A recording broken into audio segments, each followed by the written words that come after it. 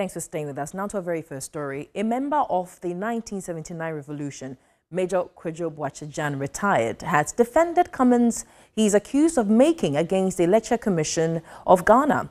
He said he is not part of a class of people who deny making statements attributed to them. Major Boakye retired, spoke at um, Babianiha in the Bono region with our correspondent Larry Parkwisi Moses attempt to compile a new register in an election year is extremely misconceived and misdirected and can be counterproductive. So the best thing to do to save all of us from angst is to prevail, the, the forces that are in a position to do, to prevail on the electoral commissioner to back away from it and resort to the constitutional provision. I think it's Act 43. I left my constitution Accra. But if you go and consult that at, at uh, Article 43, says that 1992 Constitution will have one uh, electoral roll that will be updated from time to time by deleting and insertion names that are qualified to be there. You do not ask for an overhaul, a new registration, which is different from amendment of the existing one. Because if it's an amendment of the system, well, I don't need to go and queue in, in, in, in, in, the, in the sun to, to register. And number two, given the atmosphere of COVID-19, a lot of people would, would be frightened to go, even if they maintain the social distancing. So it's likely that the, the, the, the registry will not be complete in the context of the, the, the, the COVID-19 uh, crisis, and that we should take cognizance of all this and abandon it and go for straight amendment by post.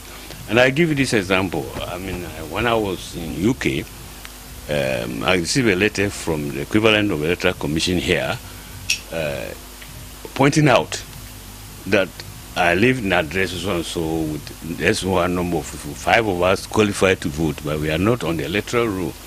Therefore, they listed all our details that are relevant, were relevant, and all I needed to do was to confirm that I right and send it to them. And I did. And I, on that basis, I qualified to vote in UK.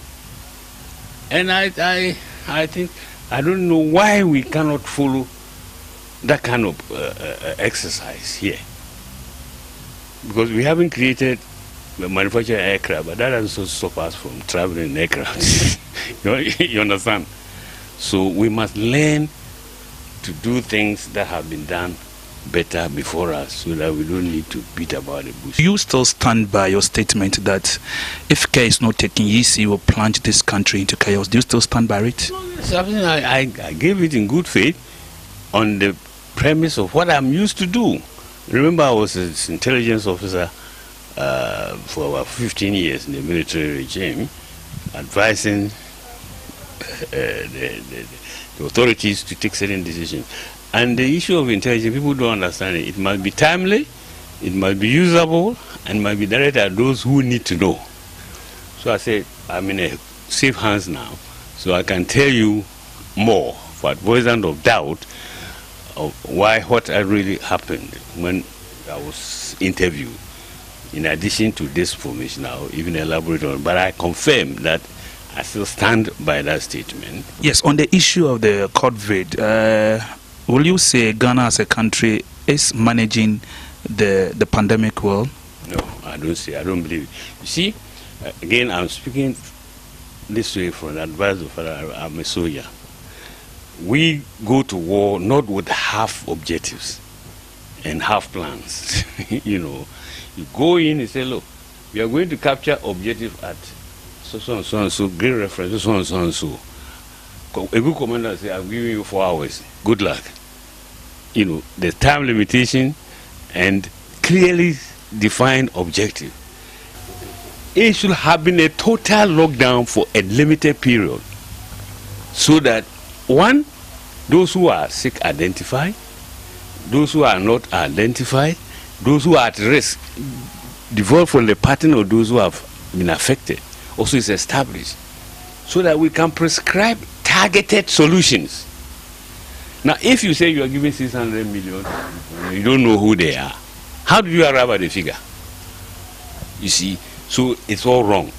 I call it uh, Galamsey, you know, solution won't help. We should consider the fate of the people here first. We should put the people first before property and profit. And that's my beef with this bill. Otherwise, it constitutes gambling, and it's also a half measure. You can't say I've knocked down halfway, I'm going to lift it and come tomorrow and do this. People are dying. And you cannot retrieve them. You cannot recover them. So there should have been one off period timeline, stated clearly stated objective that we are going to do X, Y, Z, which is measurable and calculatable. This has not happened. And I get worried.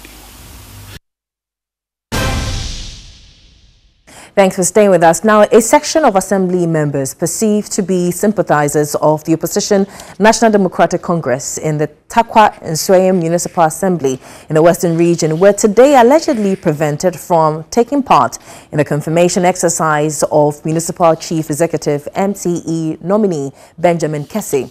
The assembly members, numbering 22, were reported to have been prevented from entering the voting grounds by heavily armed policemen, allegedly on orders from above.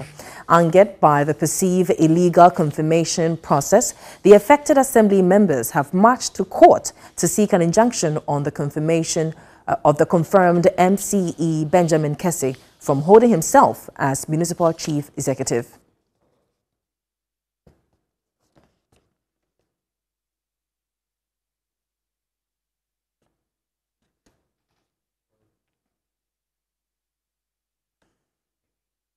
Now, we'll bring you more on that in our subsequent bulletins. But let's go to Tema now, where the Tema Regional Police Commander, DCOP Edward Johnson Akrofi or Yurfi, has revealed his command is moving a motion in court to enable the police isolate and treat 10 suspects who tested positive to COVID-19 in the police cells in the region. He told the media other inmates who were in the cells with the suspects have meanwhile tested negative and have been transport, transported to Ankara prisons. How many days inmates did you count there? For you to say congestion. But as for cells, how do you practice social distancing? Put it, putting them at risk. I don't think that we are putting them at risk because they are not getting in contact with the general population. So I should think that even being there they are automatically quarantined and in, in isolation. So it is even better to be in the sense as at now than to be roaming about. No, as for you, as for we, our police duties, you know, the counter NCOs and then the uh, station orders are there to attend to them. They are, they are, they are, they are, they are, we have started the process. With the one, the, this in the court has given the directives. So it's been taken to Ashaiman. Uh, and as I'm speaking to you now, Ashaiman people, they are in court to move the motion.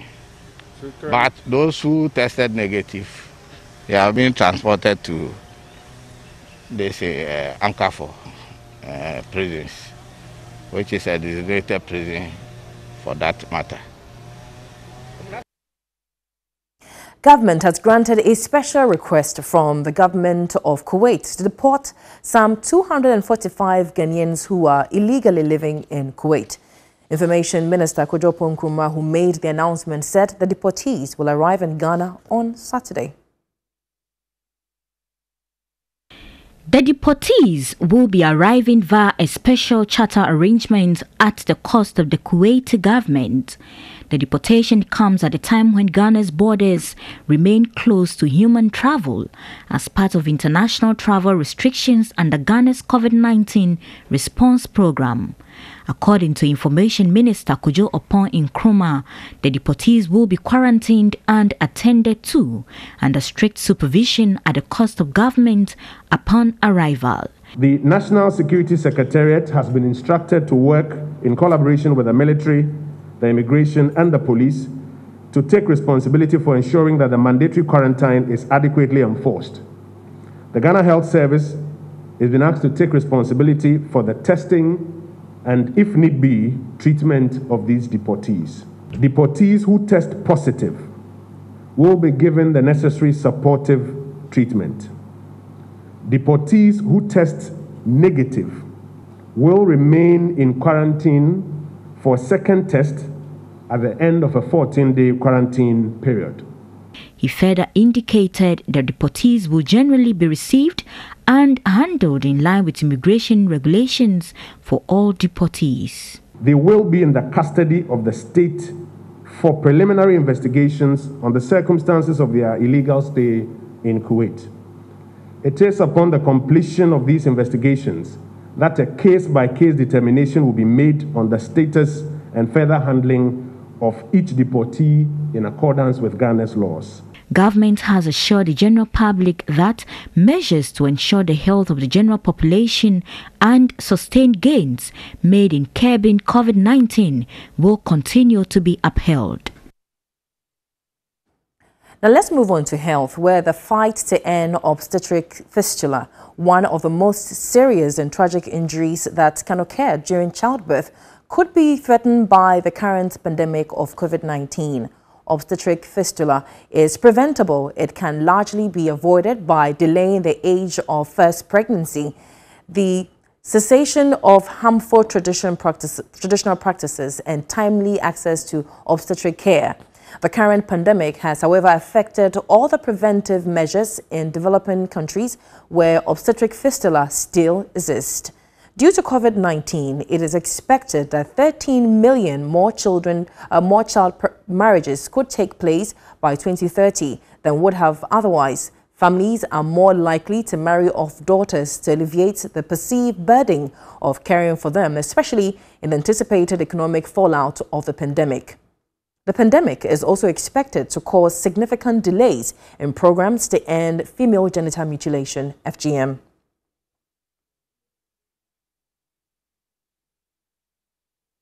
Now, we've been joined by a lawyer, uh, a doctor rather, Dr. Gabriel Yao Kuma um, Ganyaglo. I hope I got your name right, to, to shed some light on obstetric fistula. Uh, first of all, how does this condition present itself? Thank you very much, and uh, good afternoon to your viewers. Obstetric fistula, as you have alluded to earlier, is still a very important maternal health condition in our country, and it's largely a result of a prolonged obstructed labor, by which I mean the woman goes into labor and the baby just doesn't come out and gets stuck in the birth canal. And once that happens over a few hours, then you find that the, an abnormal communication develops between the reservoir for urine and the reservoir for feces. And once the hole develops, then urine continuously tracks through the birth canal or feces tracks through the birth canal for that matter. And the woman is continuously leaking and continuously smelling of urine and of feces. Mm, this is uh, quite a serious one there. What's the status of this condition in Ghana? Um, have we recorded a lot of cases? Yeah, we did some studies uh, about five years ago, and then more recently last year, and we still have uh, fistula in our country. In our estimation, about 1,353 new cases of fistula occur every year. It's mm. difficult to estimate how many uh, fistula cases are pre-existing because primarily these patients are in hiding due to stigma, due to humiliation, due to ostracism, and the various myths and misconceptions about fistula they are not easily identifiable. They are in hiding, so it's difficult to actually know exact numbers of cases that are already existing. But we do know that every year we record a significant number of obstetric fistula cases. Over the years, we have done our best, given the limited resources available, to repair uh, as many as we can, but our efforts, unfortunately, are only able to reach about a hundred or so patients every year. So we do think that we have a substantial backlog of fistula cases in Ghana. Right now, is every woman susceptible to this condition, or are there women who are more vulnerable to obstetric fistula? That's a very good question. The research we have done indicates that fistula is affecting all regions of Ghana, it's affecting all women. No particular age is spared. However, it appears to be more common in the younger ages and those who start early childbearing. That is why childhood marriages and teenage pregnancies, as much as possible, should be avoided because it does appear as if unless the woman has finished growing and the pelvis is fully developed, it is very. Hello, doctor, can you hear us? Okay, we seem to be having some challenge with Dr. Yao. When we do establish contact with him again, we will share some light on what roles, for instance, um, families can play to help women who um, are living with obstetric fistula to deal with the condition. We'll also would find out um, COVID-19 and its impact on the treatment of this condition. And if at all there's a treatment for this condition, you're still watching Midday Live on TV3. We'll, we'll, see if we can uh, establish contact again because it's a very, very important conversation, not just for women, but, you know, for all. Dr. Yao, for instance, cited instances where women who have been married off early or have children early are more vulnerable to obstetric fistula, even though it's a condition that any woman, irrespective of, you know, um, age or location, can have. So we'll take a quick break. When we come back, there's more news here on Midday Live. Welcome back. Now, for the first time in history, Muslims in Ghana will not be observing the Eid al-Fitr festival. This is as a result of ban on social and religious activities to contain the spread of COVID-19. The situation has adversely impacted on businesses within the Zongo communities. Ibrahim Abubakar has been assessing how businesses within the Zongo communities have been faring in the face of COVID-19. We are left with just two days to celebrate the Eid al-Fitr festival, which marks the end of the month of Ramadan. Ordinarily, around this time, businesses within the Zongo communities take its peak. But this year, the story is different. Due to the COVID-19 pandemic, there wouldn't be any Eid al-Fitr celebrations. And this has affected businesses within the Zongo communities. Let's engage with some of them and find out how they are faring in the face of this pandemic. business deɛ akɔ fam paa afi sɛ sɛ bere woba ha ɛkwan mpo nni hɔ yɛkaa sɛ yɛndi sala no ɛfi sɛ beebi a yɛbɛkɔ di sala no obiara pɛ sɛ ɔhyɛ atade foforɔ nti aba sɛ sɛ yɛtena fie no ɛnyɛ obiara na ne gye sɛ wɔbɛtumi atɔ biribi nti affect yɛ paa. Mmom yɛdo nyame ase. Yɛte nkwam yareɛ yɛ ankaeɛ. Ɛno mpo nko a nti yɛbɛdo nyame ase na nyame mma yɛ ɛkɔ foforɔ. Wei nyinaa ɛbɛtwam inshallah. Business is not faring quite well due to this covid-19 and especially when the government announced there will be no eid this year. So it has negatively affected those selling uh, uh, clothes shoes and the rest. As i speak to you now we are in the uh, we should be in the peak season. So mostly every ramadan by this time every shops within the zongo communities will be crowded with people. But uh, this years tend to be different from the previous years uh, previous years. So in the nutshell uh, it has negatively affected businesses within the zongo communities and the country at large nhwɛ a last year ne this year deɛ n compare fi last year deɛ ne yɛtɔ yɛtɔ adeɛ paa this year yɛka sɛ ɛndi sala no koraa nti ama obiara te ne fie sala no so nti nyankopɔn ama woduru yie na wɔsɛ obiara nhyɛ atade foforɔ nso sese deɛ obiara ntumi ntɔ agensi yɛ paa biribiara sɛ biribiara sɛ bɛti yɛmmɔ mpa yɛ nyinaa yɛngu so ghanafoɔ yɛmmɔ mpaeɛ na yareɛ deɛ ɛnkɔ ne nyinaa yɛho ntɔɛ I'm currently at the hub of tailoring here at the Kumasi Central Market. And around this time, this place is the most busiest place you can ever find because everybody wants to sew a new cloth to put on for the Eid celebration.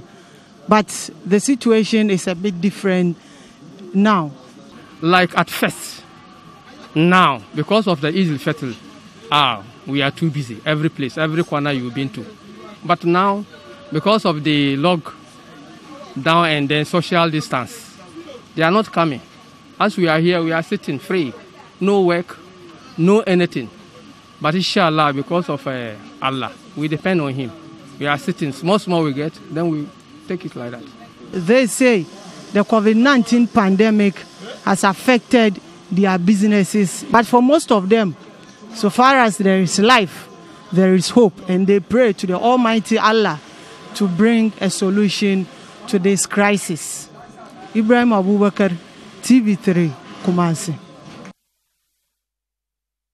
Meanwhile, the National Chief Imam Sheikh Nuhu Sharubutu has called for pragmatic measures to address the coronavirus pandemic. At a brief ceremony to receive essential items from philanthropists ahead of the Eid al-Fitr celebrations, the Chief Imam believes a concerted effort is key in defeating the virus. Muslims around the globe would mark the Eid al-Fitr celebrations after undergoing one-month prayer, fasting and teachings. However, for the first time in more than a century, Muslims will not observe the usual crowded Eid al-Fitr prayers owing to the coronavirus outbreak. Although worries that COVID 19 has wreaked havoc globally, the National Chief Imam Sheikh Nuh Sharubutu was optimistic a concerted effort would render a comfortable post COVID era. With practical measures at the global level and at the national level, and in the name of Almighty Allah, at the end, we will not remember the discomfort of COVID 19. Meanwhile, ahead of this year's celebration, some philanthropists have presented some essential items to the Office of the National Chief Imam for onward distribution to communities. Chris Komodo, a philanthropist who doubles as a private businessman, donated 50 bags of rice, 10 cartons of cooking oil, and 15 packs of bottled water. The country is so hot. Things are not the way we are expecting it. But I know with prayer, very soon everything will be fine and then we all will live our normal life. Another philanthropist, Freedom Jacob Caesar, who also made a similar donation, urged government to prioritize the development of Zongo communities while using the festive occasion to unify the country. This is time that we address the fact that the northern part of Ghana is the foundation of the country based on farming, based on strength, based on support, based on love. These things are the things that makes us unite. And I'm here to acknowledge this moment.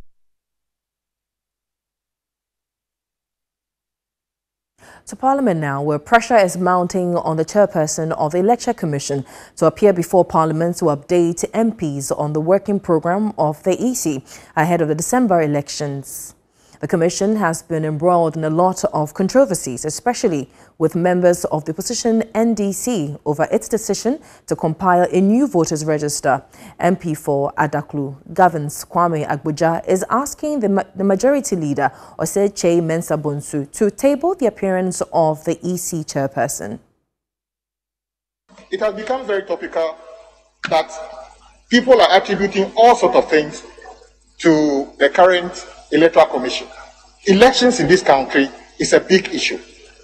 I have been in this house when we brought Madame Charlotte here, and uh, in a close uh, meeting, and members of parliament had the opportunity, Charlotte as, as a electoral, uh, chair of the electoral commission, and we elicited whatever we wanted to do, uh, hear from her. Mr. Speaker, we are going into an election in a few months.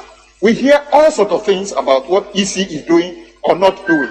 I think it's important that the chair of the EC or the Electoral Commission is brought to this house to update members of parliament exactly on what she or the commission is doing to ensure free and fair elections in, in, uh, in December. Mr. Speaker, anything short of this would have been an act, uh, uh an act of preventing members of parliament, the people's representative, the opportunity to interact with the EC so that we can report back to our our constituents to prepare adequately for this year's election. Mr. Speaker, it's a plea I'm making that leadership uh, uh, prepare and invite the Electoral uh, Commission to appear before the House so that we can elicit whatever information we want to uh, get from it. Well, the majority leader, Osei Mensah Bonsu, says the needful will be done. About the EC to come to the House to update the House on free and fair elections. Uh, I don't know uh, what exactly he means by that. The functions of the Electoral Commission are stipulated in the Constitution, and uh, nothing can be added to that. Regarding um, the the program that they, they intend to follow, again, that program was set out in the budget that is submitted to us. Speaker, I believe he wants maybe further details, which is what the minority leader requested the other time. And we, we said that we engage the EC. Um, in fact, even yesterday I did. And they, they indicate to me that they will get back to me today. Indeed, the chairman of the Special Budget Committee also came to me and said he should also do his own checks. That I have used the straight path to engage. I'm waiting for the response, which I believe would come by the close of day, for us to know exactly when uh, next week, possibly, we shall meet. Um, it's possible to meet in a closed sitting or committee of the whole, or perhaps first the special budget committee, which has direct oversight responsibility. Will do what is needful. Now, still staying on this subject, the minority leader, Haruna Iddrisu, has reacted as well. Now, Speaker, my final one, I drew the majority leader's attention that the Honorable Mahama Ayariga have filed a motion for some action uh, uh, pursuant to Article 11 and subsidiary legislation on the Electoral Commission and the instrument before us. I handed it over to the table your action on it would be awaited, Mr. Speaker. Thank you. But the leader uh, said to me at the business committee that he hadn't cited a copy. So I'm sure table, if it's in the hands of the speaker, when it gets out, let us know its fate.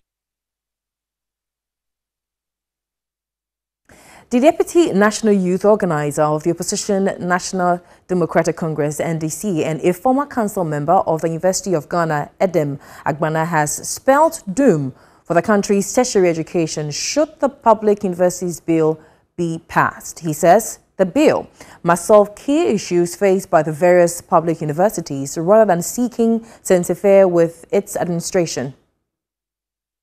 You cannot be too sure how government or a particular president will react at any time. When I was a council member, there were several times that we disagreed with the decision of government. When you have a situation where council disagrees with the decision of government, government can choose to dissolve the council per the investors bill. What is the motivation?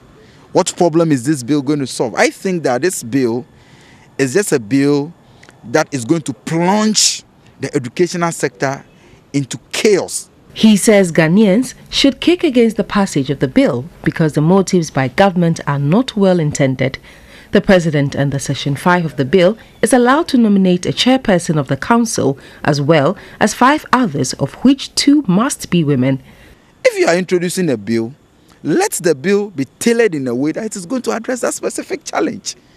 How many times have we heard reports of students who don't have access to accommodation facilities? These are the critical issues that government must focus on. What is the bill addressing?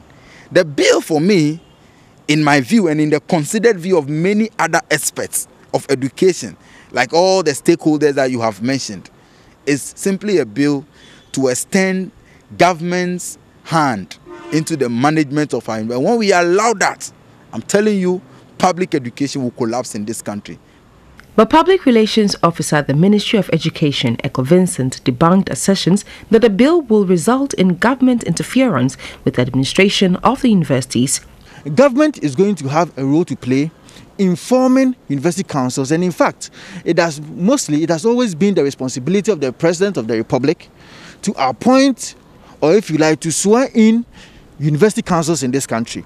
The only different thing that we are finding now is that we are now going to have external officers on the university council outweigh the internal officers. Meanwhile, UTAG President Professor Charles Marfo has indicated that they will seek redress in court if government fails to back down on the proposed public university bill. A section of assembly members perceived to be sympathizers of the opposition National Democratic Congress NDC in the Tarkwa Nsuaem Municipal Assembly in the Western region were today allegedly prevented from taking part in the confirmation exercise of Municipal Chief Executive MCE nominee Benjamin Kese. The assembly members, numbering 22, were reported to have been prevented from entering the voting grounds by heavily armed policemen allegedly on orders from above. To shed some more light on this,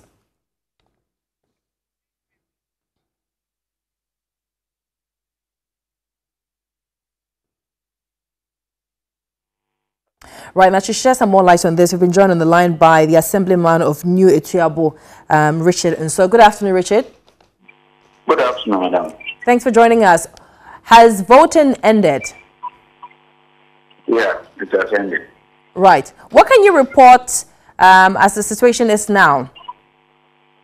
Okay. Can I send everything to my own account? Well, I'm sure you can do that. Okay, thank you. Yo, Michelle Mami na Michelle Ganama, Michelle yane president Nana Akufo-Addo. So now she has Na deɛ ɔrekɔ do wɔ takwa ha no ɔmmoa takwa ma nyinaa because deɛ ɛkɔ dɛ wakɔ yɛ voting ɛnya letter presiding member ansign but wɔde kɔsi kwan do ahoɔden kwan do wɔde kɔe kɔsigning presiding member ne signature a ɔnya wɔ a it's confirmed. Dɛ presiding member no ɔnsan ne biribiara but yɛwɔ mpanyinfo a wɔdi ni ma wɔdi kɔsi kwan do wɔde akɔyɛ fake document wɔasensan na ɔkɔkɔ to aba without a notice of an assembly members assembly members no yɛyɛ twenty something almost i don't want to bring out full the figure but we are thirty thirty assembly members. Forty three are appointees and two, 22 was absent from today's election. One of enter Okotoaban, they were 21. 21 Akatampo. 19 of Okotoaban ma Honorable Benkes. nke ni nyinaa wanto aba na mfa ma tu na nto aba na no imagine sɛ na me tu na wanto aba na ama no bɛka 22 no asɛ no a yɛ 24 19 wɔto aba no maa no Ɔfa kɔsi kwan do na ɔde yɛ dɛm adwuma nti yɛkyerɛ wɔn sɛ akɔfa de team a a- ee takwa nsayem electoral area yɛ prove dɛ ɔnabɔ bɛnkɛse na ɔbɔ ɛdi no takwa nsayem yɛmpɛ no takwa nsayem yɛmpɛ no because nipa nineteen no nipa fo fo sum up to nipa forty three forty three na kyerɛ dɛ yɛmpɛ no ɛnti no wɔfa do a wɔyɛ wɔyɛ no as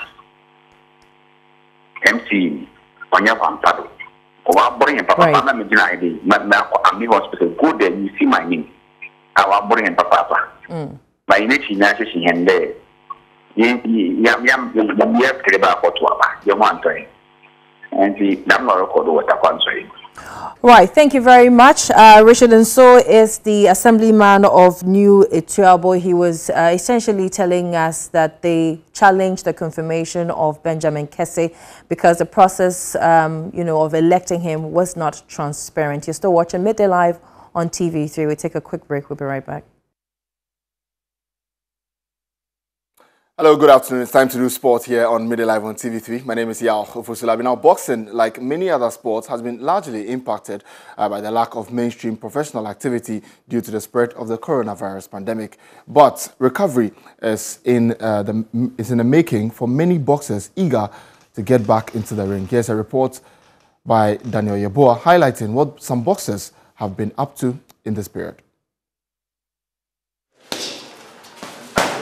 So we are here at the Bronze Boxing Gym where boxers continue their daily routine and with the efforts to become world champion in the world. Despite coronavirus affecting all sports, but they are ensuring social distancing, they are opening up to the number of boxers here. You realize that quite a few boxers behind me. It tells you that boxing is in a halt, but these boxers are continuing to pursue their dreams. Many of these young talents box and weave around a punch bag, hoping on and off concrete as they practice for what could one day secure them fame and glory. Such is the mentality of former IBF lightweight title champion Richard Commey, who started his career from the bronze boxing gym in Accra. And this coronavirus has changed everything, and it has changed uh, the bronze gym, if I have to be specific, and it's difficult. I myself have not been finding it easy, so if you don't take care, you just throw someone away I still have to motivate them. I still have to tell them that that is not a fault of anyone. So they just have to manage, control, and just be, be strong and I mean, I mean, be brave and just take it one after the other. And I believe these hard days will pass by. The punch bags here have daily company, enough proof of the pugilistic regime needed to stay grounded. For most, it is hit hard and win or go home. Daniel Selassie is certainly afraid of catching the virus, but says it should not be a hindrance to his training routine. I'm seriously afraid, but it's not, it's not because of the corona I cannot train. I always train my personal training instead of coming to the gym. Other boxers like Felix Nuhu and Emmanuel Corti are optimistic of becoming world champions, with Ghana producing seven already. And now to some more stories. And board chairman of uh, the club licensing board of the Ghana Football Association, Dr. Kwame Banu says any consideration made for or against the return to domestic football should be informed by research. Now speaking to TV3, he underscored why it is important to adhere to scientific basis than a judgment that only takes into account commercial factors. Any decision to either continue playing the game or not should be based on research. We are looking at what we are losing by playing and what we are losing by not playing. And then let's compare whether we lose more by playing or we lose less by playing. And then you make a decision. I don't believe in people doing things in, in emotion or copying other countries. Maybe the South African clubs, if even they cancel a league, the sponsorship money might still be there. And so they rather uh, stay at home and pay the players. What if you don't have sponsorship? The contract with the player is still running. And unless you are saying we are terminating, uh, mutually agreeing to terminate the contract. Whether you want to resume, the players want to play football, whether in an empty stadium or because they become rusty. And that's their livelihood. If you stop playing football for a very long time, you become rusty, he's lost his source of livelihood forever. So let's not only think about just the club officials. The players are also critical.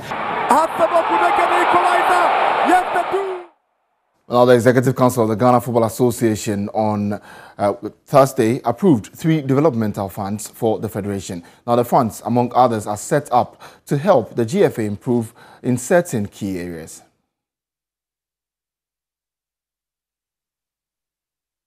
The funds include the Central Fund, Medical Fund and the World Cup Benefit Fund. The Central Fund will support activities of juvenile football, women's football, RFAs and Medical Fund. The Medical Fund has also been set up to cater for serious injuries to players in the Premier, Division 1 and Elite Women's Division. Also, part of the three is the Special World Cup Benefit Fund, which will enable stakeholders benefit from World Cup participation for development projects. For this purpose, 30% of net revenue accruing to the GFA from World Cup participation of the Black Stars shall be channeled to stakeholders. The FA says funding will come from various sources and believes the initiative will ignite passion and create wealth for all in football. Well, now Manchester United say the coronavirus pandemic has cost them an initial 28 million pounds and expect the final figure to be far higher. United revealed their third quarter results on the 31st of March on Thursday. Now, uh, Chief Financial Officer Cliff Baty said they are set to hand back 20 million pounds in TV revenue to broadcasters even if the Premier League season is completed. Manchester United lost an additional £8 million over the final 3 weeks of March when they had to postpone 3 of their matches. A total of 11 United matches have been postponed because of the pandemic.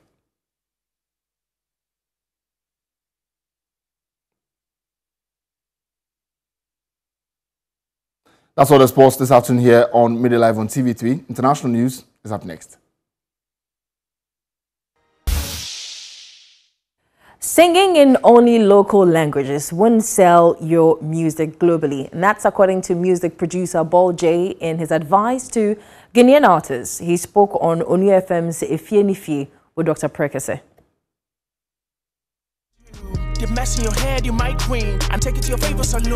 Renowned sound engineer Albert Aye popularly known as Ball J, expressed worry about the trend. He revealed that if Ghanaian artists insist on singing in the local language despite using American instrumentation, it will be difficult to sell their music on the international market. We have culture music and we have commercial music mepɛ wulo mu tie paa sankrafo mepɛ mo music but if you want to really sell to the music out there and to the world out there you have to um, fix it with what is commercial out there and that's called trends. So that's what we do to pick ghanaian music our own music and put it together and we can sell it out there. If you don't add english to it and it's just tree then you have to make sure that your instruments are sounding very typical native African. I mean, a sound engineer. But if you're going to use the American instrument and speak Tria, Udu on Mabeka ah, but you sound just like us. It's no difference. According to him, African arts such as Fela Kuti, Angelique Kidjo, and Atongo, among others who mostly sang in local languages, appealed to the international market because their instrumentation had an African feel. And that's J for you. Now, singer and songwriter Lady J believes a genre of music is yet to be understood by Ghanaians.